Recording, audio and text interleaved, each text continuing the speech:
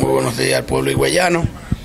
Eh, estamos, como todos saben, somos los coordinadores del Departamento de Contra Homicidio. Eh, estuvimos ese hecho, eso fue el lunes en la noche que esa joven desapareció, pero tuvimos conocimiento el sábado.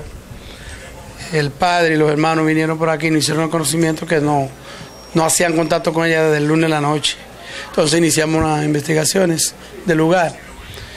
Pues en el día de ayer, antier hicimos contacto con familiares de un esposo de ella y pues eh, seguimos dándole, dándole seguimiento junto a la fiscalía. Y el día de ayer, en la hora de la tarde, hicimos contacto con el señor, que no habíamos podido hacer contacto con él, donde fue investigado y él mismo admitió haber cometido el hecho. Y nos llevó al lugar donde hubiese tirado el cadáver. ¿Se pudo determinar de qué forma él le dio muerte a ella? Sí, hasta ahora eso, el cadáver va a patología forense, sabe que está en estado decompuesto. Pero lo enviamos a, patología forense. Tienen que saber que fue apareció en, la provincia de La Romana, justamente en la orilla del río Salado. Eh, y ya a partir de ahí le entregamos el caso al, Departamento de Homicidio y la Fiscalía de la Romana para que prosiga con él. Ya él está detenido. Él dio declaraciones ayer allá a la Fiscalía, cómo fue que sucedieron los hechos, por qué, cuáles eran las causas por las cuales él cometió ese hecho, qué lo llevó a cometer el hecho. Y será puesto a disposición de la justicia y cada vez se fue envió a patología forense. ¿Cometió el crimen aquí, comandante, en Higüey? No, hasta ahora fue allá en Romana. Allá mismo. Sí, ella fue. El... Nosotros, según las investigaciones, vimos que ellos se comunicaron el lunes, eso de la una y pico de la tarde. Ellos tuvieron mucha comunicación ese fin de semana, eh, mutuamente. Pero el lunes fue el último día, eso de la una de la tarde, que se comunicaron. Ellos aparentemente combinaron de que ella iba a ir a su casa, ella iba un fin de semana sí, un fin de semana no. De Yuma se trasladaba a la Romana y se fue ese lunes. No fue fin de semana, pero fue el lunes. Entonces, en la noche, eh, yo estando en la casa, en la casita del. está cerca del río, de Río Salado, ahí abajo, en la romana, y cometió el hecho. Después de cometer el hecho dentro de la casa, como está a la orilla del río, tiró cada vez al río según sus informaciones y la llevó al otro, a la orilla del otro lado del río, donde los dos abandonados. Según se ha informado, eh, él la había agredido anteriormente, hasta le había inherido varias puñaladas.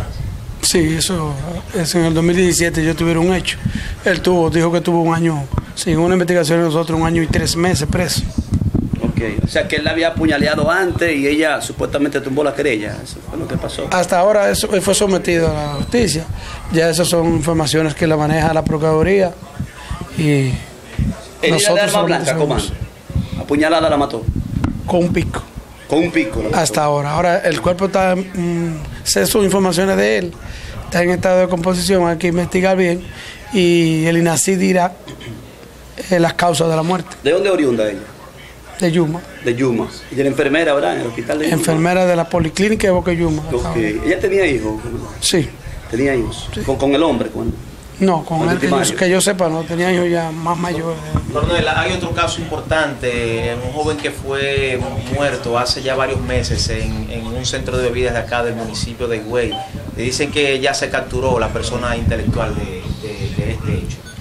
Eh, la persona, la principal, porque es en ese hecho, eso fue en el 2017, en el 29 de diciembre, Madrid. En ese hecho hay varias personas involucradas, tenemos videos pudimos recolectar videos eh, cuando estaban cometiendo el hecho. Eh, no fue difícil identificar a algunos de ellos, algunos se identificaron de una vez. Hay dos de ellos que fueron identificados de una vez, que todavía estamos detrás de ellos, trabajaban en el Hotel Jarro Café, pero emprendieron la huida el mismo día que él murió y jamás volvieron a trabajar. Estamos detrás de ellos, estamos dando seguimiento. Pero el principal es un joven que fue apresado en San Francisco. Estábamos dando el seguimiento y lo apresamos en San Francisco. Tiene otro hecho en San Francisco por muerte también. Después de eso, de nombre Edwin Morel. El joven que murió se llamaba Harley Él Rodríguez, estaba acostumbrado a eso. Mola Rodríguez. Él aparentemente violento. Es violento. O sea, Ya se presume- ayer, Se presume que fue el que lo mató, el de aquí. sí, tenemos el video, es uno de, lo- de los cabecillas. El primero que le da el machetazo en la, Ok. en la cara donde le vira el lado. Es el cabecilla, el primordial. Ellos habían tenido, según informaciones que hemos recolectado con informantes de nosotros, ellos hubiesen tenido problemas anterior, días anteriores a ese hecho en la discoteca Prada. Posteriormente se juntaron ahí, en Palmadrín. El muerto andaba con otro jovencito que decidió irse porque se le estaba haciendo tal y trabajaba el otro día. Y él se quedó solo. Entonces ellos aprovecharon ese momento cuando él iba saliendo, lo operaron afuera, Cayeron unos cuatro o cinco jóvenes, y le cayeron a puñaladas y a machetazos. Ok. Hasta pedrada. Es, bu- es bueno resaltar que la joven que falleció en San Rafael de